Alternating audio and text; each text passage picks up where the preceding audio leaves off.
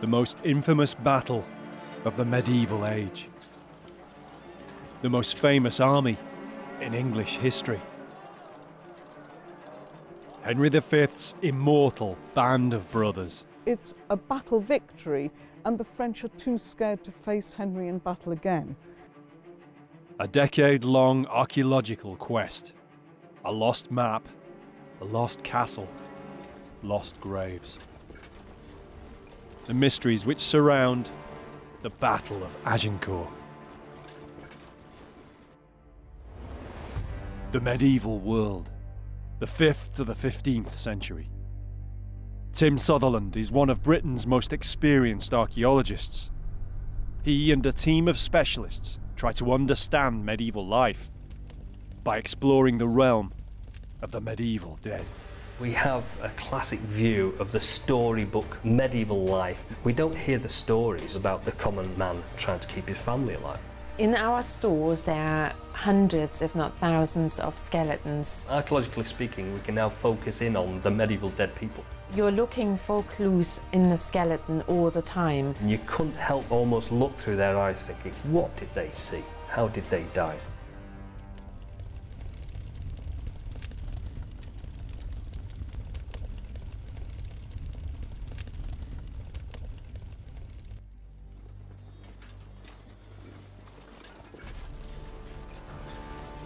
Of all the battles in the medieval age, Agincourt is among the best known.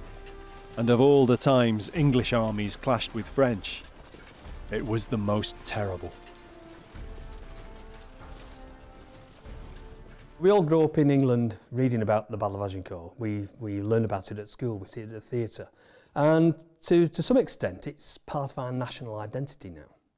I think for most people, the Battle of Agincourt is Shakespeare's Battle of Agincourt. The play, Henry V, written in 1599, possibly the first play at the Globe Theatre when it was newly built. 40 miles south of Calais in northern France, the Normandy fields lie silent. Nowhere more so than around the tiny village known as Agincourt. These fields hide secrets that have puzzled historians and archaeologists for many years.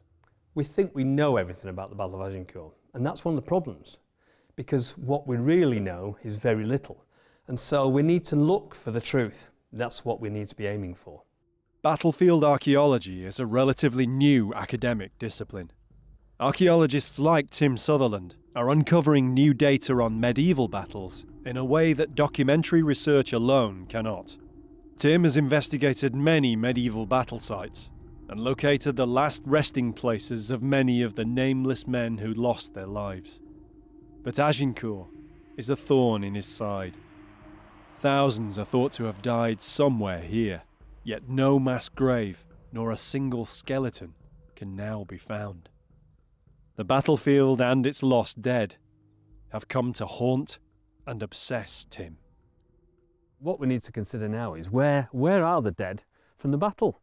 Are they in the immediate vicinity or are they nowhere near here? So somewhere around here there are thousands of the dead from the Battle of Agincourt, but we just can't find any traces of them yet. Tim's quest to find the Agincourt graves is inextricably linked with his research into another historical figure who lived 400 years after Agincourt. John George Woodford is Tim's archaeological forebear and an enigma of a man. A British Army officer, Woodford supposedly located some of the graves from Agincourt. Tim has been trying to work out where. It's a detective trail that he's been on for more than a decade. In the years after Waterloo and Napoleon's defeat in 1815, the British Army remained in France. There was no more fighting to be done, and so instead, Woodford could turn his attention to his passion for antiquities and history. In 1818, he took a company of his soldiers with the intention of exercising them in the new art of archaeology. Their objective, not far away, was the battlefield of Agincourt. Over the years, Tim has become captivated with the tantalising accounts of what Woodford found at Agincourt. He was one of the first archaeologists, and perhaps the first battlefield archaeologist. He claimed to have found not only bones, but arrowheads, rings, and a gold coin. As such, these are the only archaeological finds from the battle ever recorded.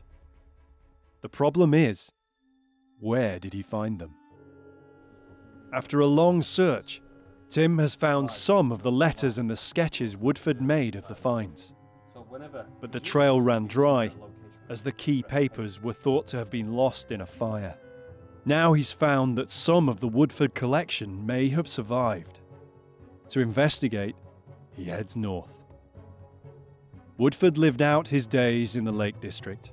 An eccentric antiquarian, he lived in a house overlooking Derwent Water, surrounded by his notes, letters, and artifacts, maybe including some of those he found at Agincourt. But when he died, it was all split up, and much of it was lost. Tim has found that part of this scattered material has come to light in Keswick Museum in Cumbria.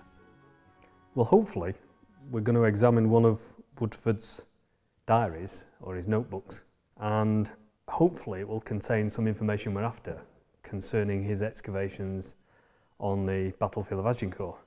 At the time of his death in 1879, Woodford was a Major General, the last British officer still surviving from the Battle of Waterloo. He and his brother Alexander served in the British Army of the Duke of Wellington.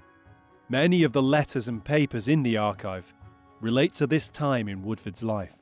It makes me wonder whether Woodford was as interested in Agincourt because he fought at Waterloo.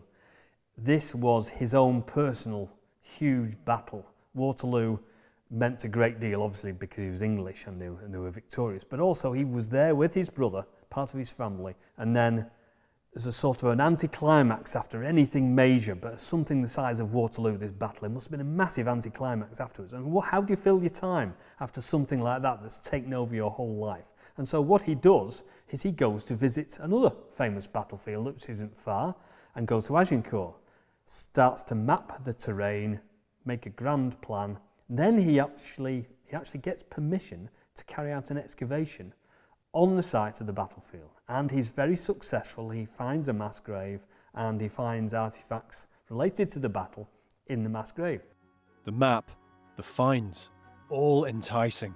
But up to now, Tim hasn't been able to find the all important evidence. Can these notebooks reveal a clue? This is his private notebook. He's not expecting it to be published. In his day, he was almost unique. He was walking around doing what I would consider battlefield archaeology. He was going to certain sites and he was recording what he saw and what was there to record, including carrying out small excavations. And at Agincourt, this is crucial because in 1818, this is one of the first times this ever happens and is on record as happening. All the little, the little key elements that we need to pinpoint his excavations at Agincourt are just not here yet. I've still not found them and maybe they just don't, don't exist any longer. There's definitely a page missing because it starts in the middle of a sentence, which means that this is not all the original book. How much is missing? That's the crucial thing.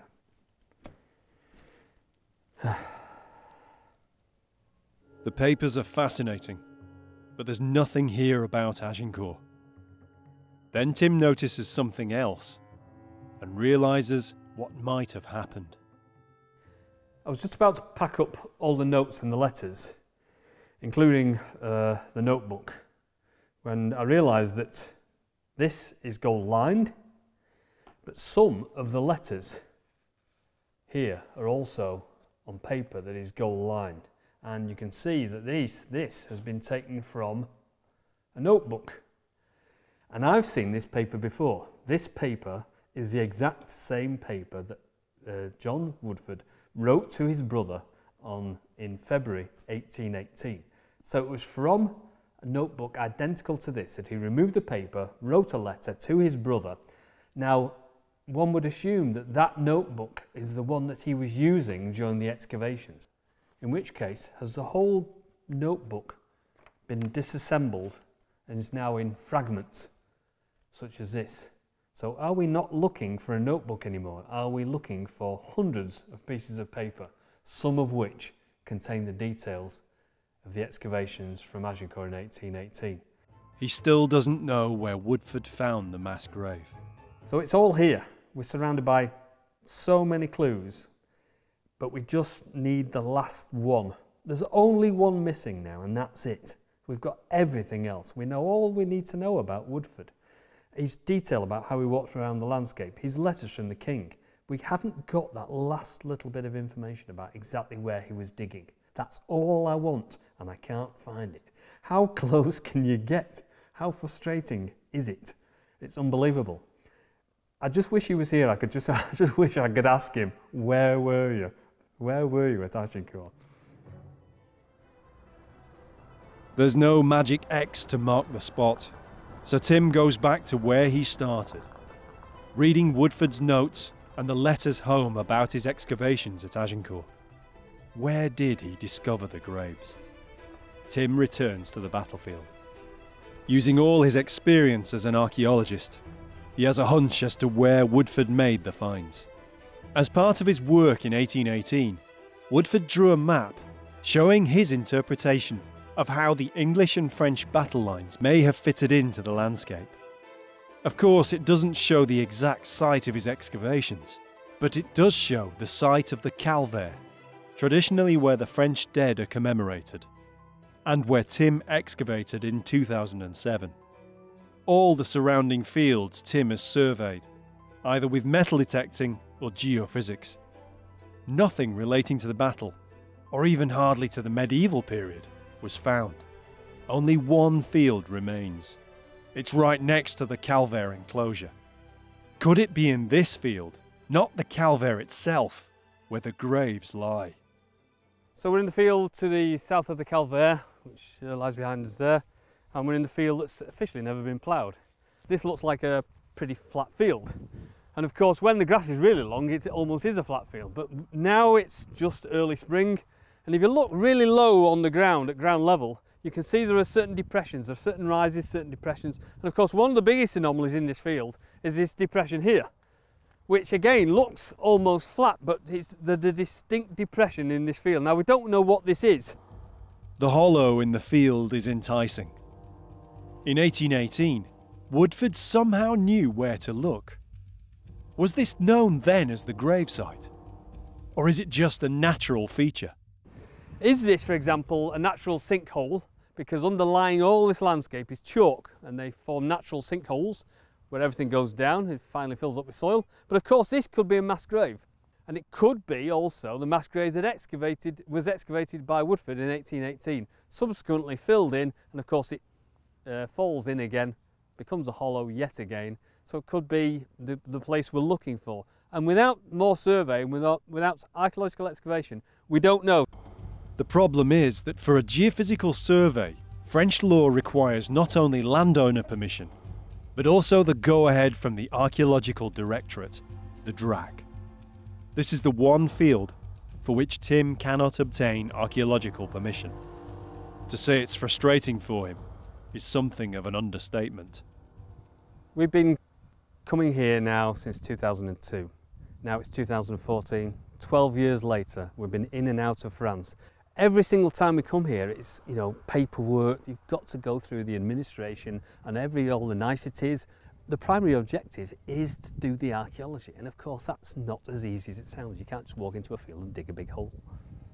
Tim remains the only archaeologist since Woodford 200 years ago to conduct serious work here. And all this in the run up to the 600th anniversary of the battle in 2015. Back in 1818, Woodford's opening of the graves caused such offence that he was ordered by his overall commander, no less than the Duke of Wellington himself, to stop the work. But Tim has been involved too long now to stop his research.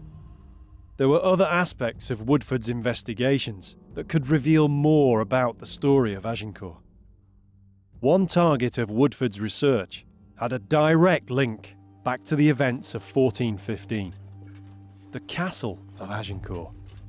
Several of the chronicles describe how Henry V's victory got its now famous name. Heralds had a privileged position in medieval warfare. Their diplomatic immunity meant they could move freely between the English and French armies.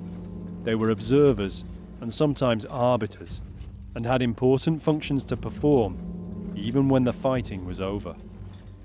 Henry called the French herald to him after the battle uh, and said, What is the name of that castle? And the herald said, Azincourt.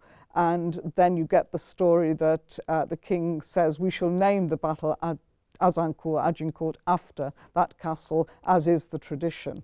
In fact, it's the first known mention of this idea, tradition, that battles were named after castles. Even if the chronicles are accurate, no castle remains to be seen at Agincourt today. Most of the village dates to the 19th, the 18th, or at the very earliest, the 17th centuries. But research is showing a little of what was here in 1415. The only medieval sites that survive in the village are the castle site, and there are no standing remains now, but there have been excavations there in the 1970s, and the church. The church dates back, or the site of the church dates back to the middle of the 13th century, but the current structure is 16th century. There's no record of the church or castle playing any role in the battle, which is today believed to have been fought on open ground to the east of Agincourt village. But as Tim's previous work has shown, there's no actual evidence to prove that the battle was fought in this area. No archaeological finds have ever been made. Tim knows because he's tried, along with metal detector expert Simon Richardson, in surveys dating back to 2002. So if we look at other maps that follow on from this one, Historical maps showing the position of the battlefield can't be trusted either. No medieval maps exist which show the battlefield. The earliest are too vague and only mark its approximate location, somewhere near Agincourt.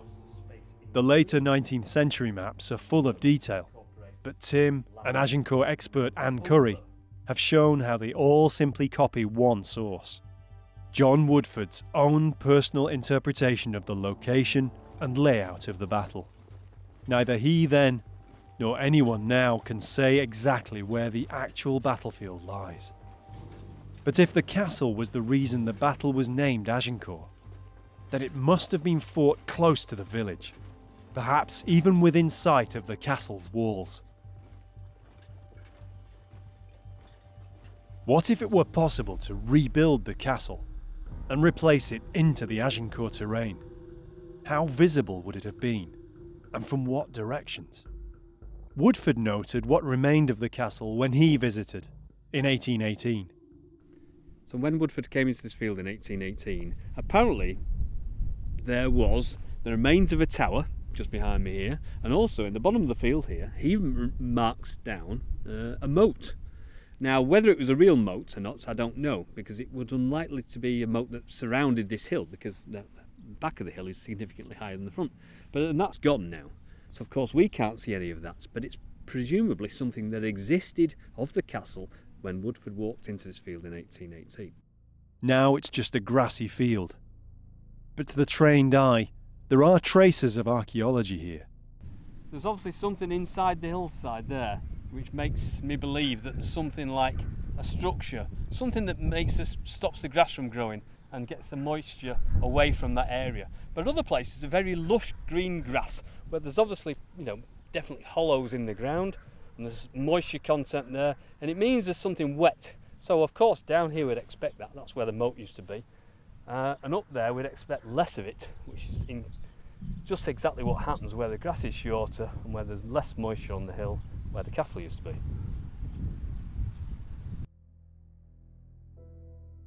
In 1976, a chance discovery led to ruins being unearthed here in a very unexpected way. The owner of the farm behind me decided to put in some land drains or a big drain from the top of the hill down to the bottom of the stream. And so got a, an earth a moving machine, a big digger in, and he started to dig what he thought was a simple trench from the top to the, to the bottom of the field. He came across some limestone rubble, and then some building material, and then some huge amounts of soil and silt and ash and all sorts of things. And that attracted the attention of the locals, and they all came to have a look down this, this hole. The locals had unwittingly revealed the foundations of massive walls or vaulted stone rooms, perhaps cellars underneath the castle's buildings or towers. They were there for three weeks digging this big hole, and then officially somebody came along and said, Excuse me, what are you doing? This is a castle uh, and it's an archaeological site. Would you mind stop doing this? And the whole thing was shut down and backfilled, and people had wandered off site uh, with all sorts of things from tiles and bits of pottery. So with this, all of this was disseminated around the village, and that was the end of it. After almost 40 years, all that's left is a slight scar on the hillside where the excavation took place. Nothing can be seen above the ground, but what about below? On the flat area on top of the castle hill are the modern farm buildings. One of the barns is hundreds of years old. It probably dates to at least a century or so after the battle, but it could stand on the footprint of an earlier building. The owner has agreed to let Tim have a look at the oldest remaining part, the cellar which lies beneath. Maybe this dates back to the period when the castle stood here. It's in immaculate condition. It's absolutely fantastic. There's nothing wrong with it at all. It's been blocked up. There's got a blocked up doorway here and blocked up doorways here and there and hatches. And we don't know how old it is.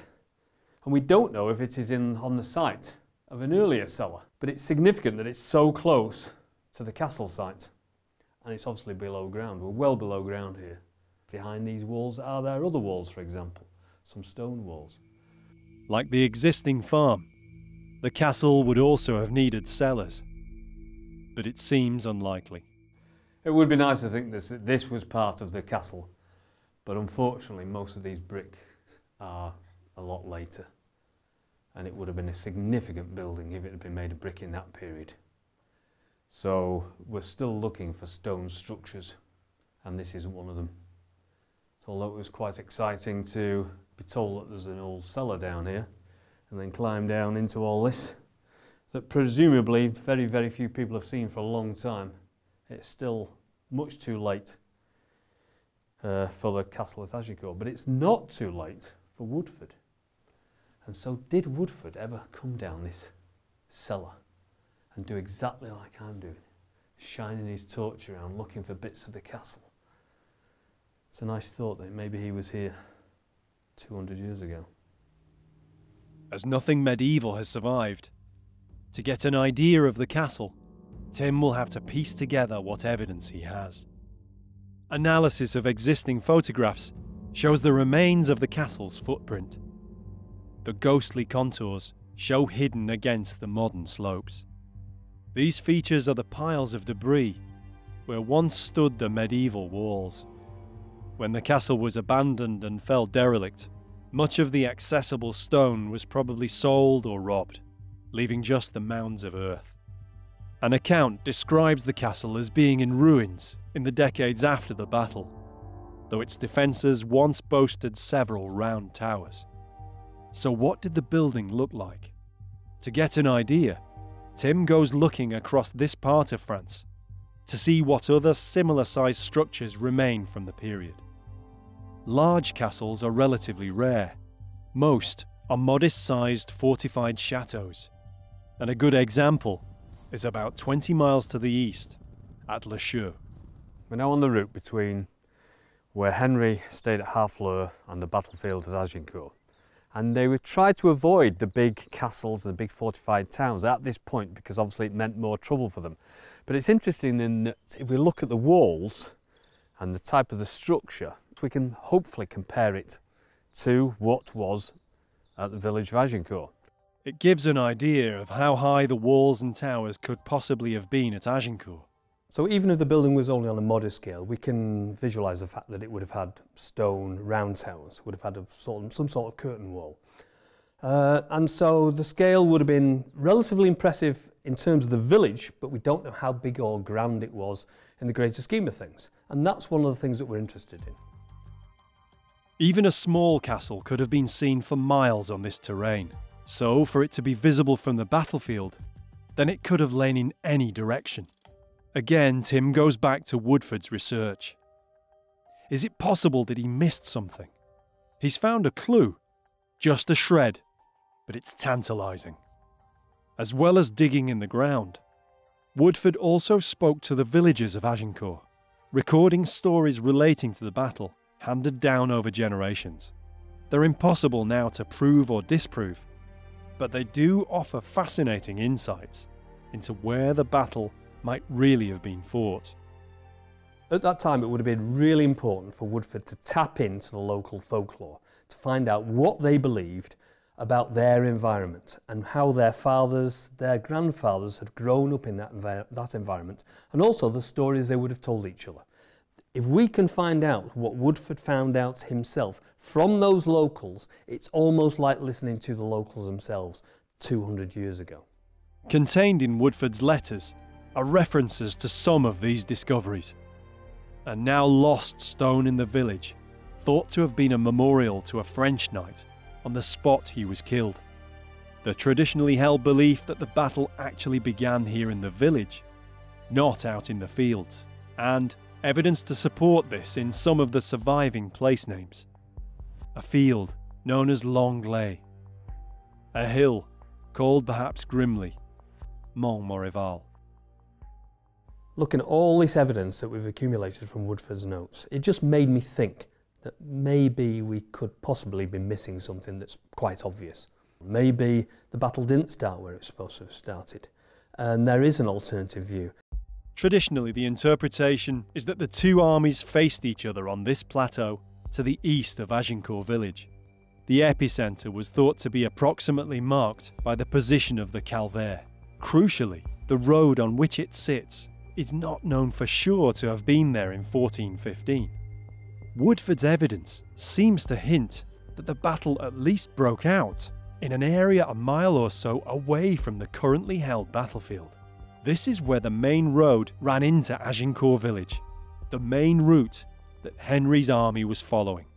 It's not like today, back in the medieval period, roads would have gone from village to village so that people could have communicated with each other. They would have moved from village to village across a landscape and an invading army would have done exactly the same thing. They would have gone from village, taken what they had, moved on to the next one. And so they wouldn't be just moving around the landscape willy-nilly. They would have actually been going from one set place to another set place and moving on progressively across the landscape. The valley is narrower than the wide open ground to the east. There's less open space here for the larger French army to fully deploy. On the other hand, this would have evened the odds in favour of the smaller English army, whose archers would have been able to concentrate their shooting at the compressed mass of enemy to their front. We're in the valley between the villages of Maisoncelles and Azincourt, and the army had to travel between the village behind me here and they had to travel up this road because this is almost certainly one of the earlier roads because it links the two villages and they had to go to the village behind me and somewhere north of the village of Maisoncelles is the battlefield of Agincourt. We know it took place somewhere around here but we don't know exactly where. It could be over there or it could be over there, it could be behind us. When Woodford came here he was told by the French that this local area here is where the battle started. Now that's significantly different from where everybody else is saying that it started. Right behind us, right over there, about a mile away. And so one would expect that for some reason the locals thought this battle started here. It's at least possible that the battle began near to this part of Agincourt, then spreading to the wider fields here, or the more commonly held battlefield location to the east. I think one thing to bear in mind is that there is still no archaeological evidence of the Battle of Agincourt, and that's really important because without that, everything is conjecture. We're looking at local legend, folklore, little bits of history. Basically, it could be anywhere. And it's the archaeological evidence that will finally tie it down or nail it down to a very specific spot in this landscape. If there are hundreds, perhaps thousands of men buried somewhere here, what's certain is that they were mostly French. But what of Henry's victorious soldiers? Their casualties were relatively low, and the campaign won. Many returned to England. Who were they? The narrative accounts of Agincourt, both on the English side and the French side, only really mention the aristocracy by name That's particularly true of English accounts. They mention very, very few people. They're only interested in the king and his immediate royal family and leading nobles. Our studies have suggested there are about 45 surviving tombs or brasses of people who are known to have been on the Agincourt campaign. Not all of those, of course, actually fought at the battle. Some were invalided home. Shakespeare leaves us with the idea that these 45 were among Henry's braves, his happy few, his band of brothers. But was this really the case?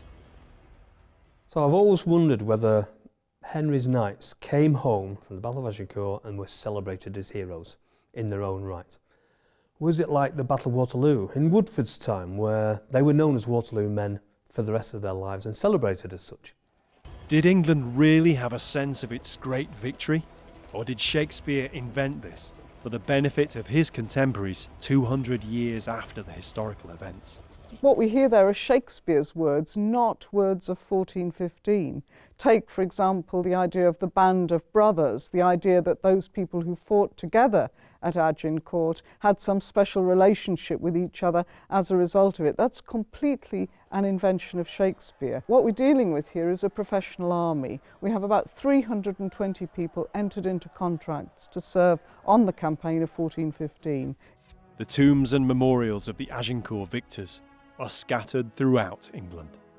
These are mostly just the men who survived the campaign, who came home and continued their lives, and who died in many cases decades after the battle. Were their lives enhanced by their being able to proudly say they were at Agincourt? It was a campaign for which they intended to serve for 12 months, so it was probably a campaign of conquest rather than towards a battle they, the nobility on the campaign would have known each other already pretty well, and there would have been knights and other members of households, again, that are well linked to the commanders. But the idea that there was something very special linking all of these people together, that after the battle they, they had a kind of like an old comrades club emerging from the fact they'd served together at Agincourt, is a complete myth. Most of the effigies brasses, or inscriptions of Agincourt veterans are of privileged men who would have been memorialised anyway. Now, after years of fruitless searching for the graves at Agincourt, it seems Tim and Anne Curry will finally encounter the remains of one who was there in the battle that day. They've come to St Albans, where they've been granted special access to the tomb of one of the main English figures in the battle, and one of the brothers of King Henry V himself. Henry set off in 1415 with two brothers with him. His next eldest brother, Thomas Duke of Clarence, who was invalided home with dysentery from Harfleur, and his youngest brother, Humphrey Duke of Gloucester, and he is with him at the battle. Humphrey Duke of Gloucester was 25 years old at the time of the battle. He lacked fighting experience and was perhaps eager to prove himself. You've got to bear in mind that these are the aristocracy. They'd have trained in the use of arms from an early age, the use of the horse, all of that kind of thing. Uh, maybe he participated in the foot jousts, various other activities of that sort, and he would have been closely linked to his brother. Unusually, Humphrey's bones today aren't buried or sealed away. The coffin is in an open vault just beneath the shrine of St Alban himself. Right, so uh, so apparently he's down here. Yeah. So he's not exactly under the tomb, but this is apparently a modern reconstruction of the entrance. Oh yes, quite a long way down. Yeah. Shall I? Uh, shall I go 1st Mm-hmm. Should be interesting. Well, after you, I think. Tim. Thank you very much. I'll. Uh, my slightly larger feet. It's oh, these are very worn. In fact, well, I guess a lot of people came into here in the 18th and 19th centuries when they had the coffin open. The tomb lay lost and undisturbed for over two and a half centuries before this concealed staircase was rediscovered by accident. So this tomb was prepared for Humphrey?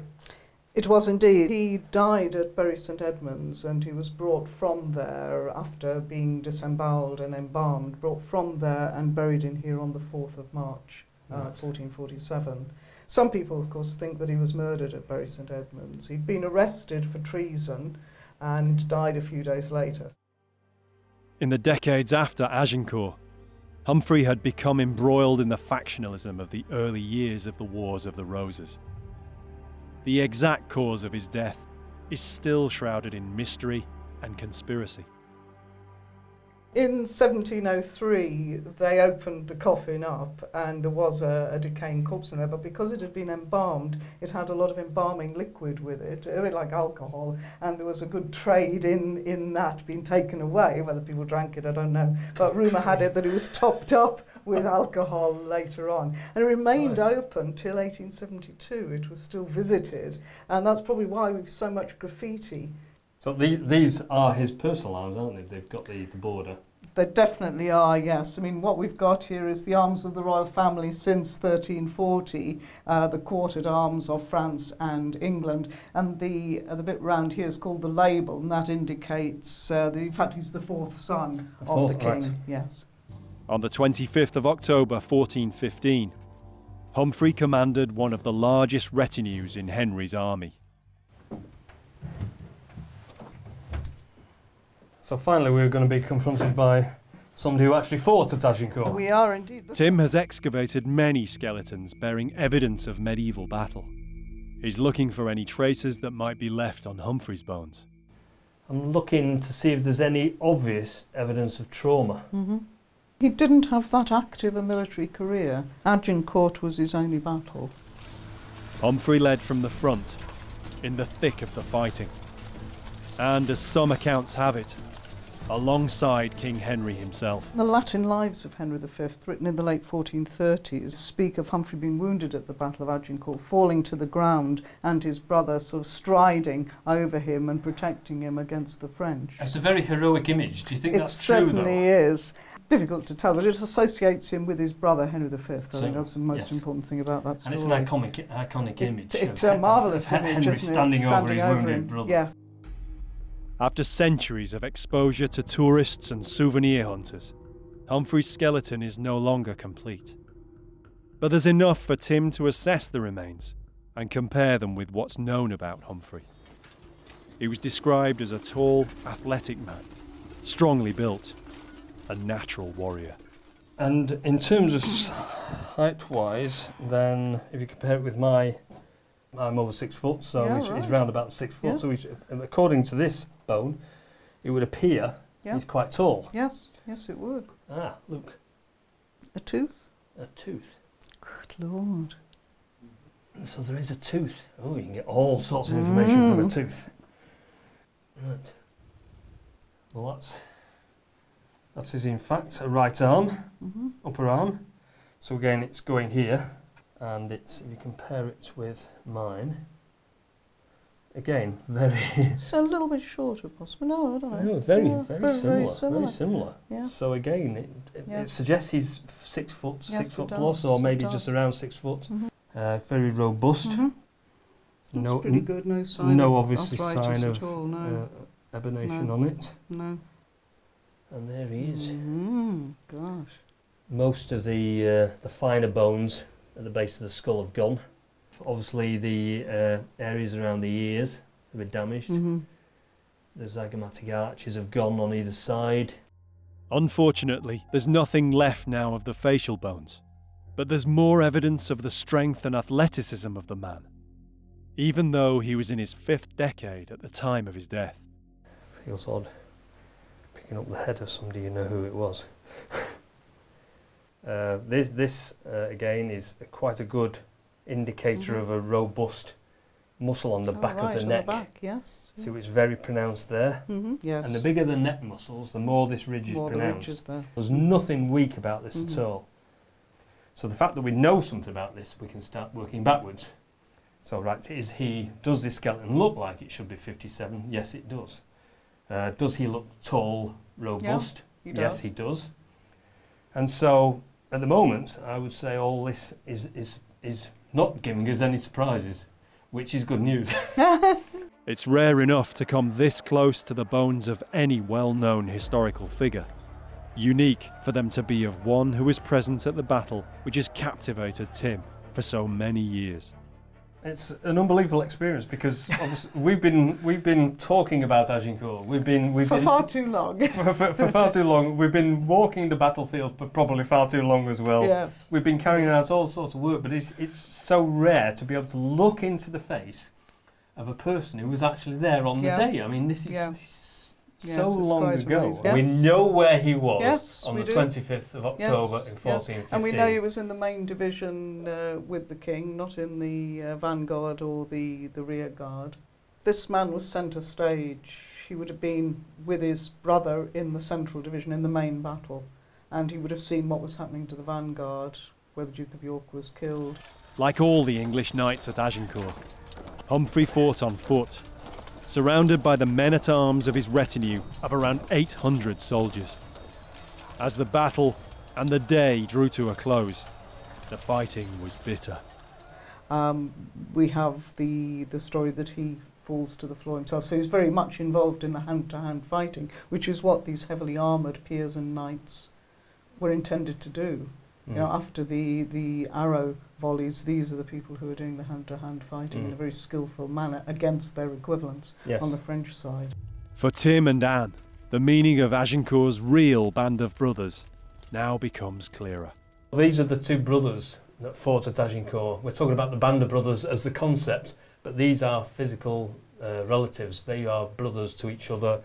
I think this is the real band of brothers. As you know, I'm dismissive of the Shakespearean thing. It's really Shakespearean invention. Armies are very hierarchical. But here we have a real band of brothers. Humphrey, Duke of Gloucester, and his brother, the king, fought alongside each other at the battle. Henry protected his brother when he fell.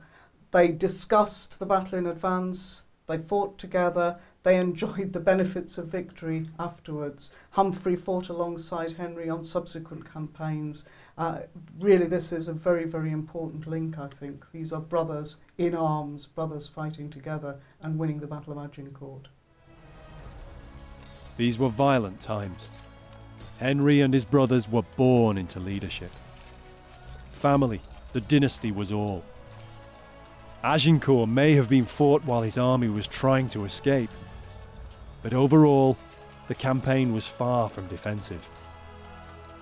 The English were the invaders. I think what I'd like to recall is the, the fact that the English really had no right to be there. We've got never to forget that Henry V was an aggressor. He didn't really have a claim to the north of France. Maybe he had a claim to Gascony, but it was an invasion. It was a, a war of aggression. Quite often, he is portrayed as a hero. In fact, maybe we should see him as an aggressor. The other thing we should bear in mind is the English and the French were enemies for many centuries. 1904, the Entente Cordiale, and then the First World War brought them together. And now we have a Europe that is peaceful because of the effects essentially of the First and Second World Wars. Maybe we should look back without too much idea of the heroism and the, the colourful nature of medieval warfare, but regard it as warfare and, and quite a serious thing that we should condemn as much as we condemn modern warfare.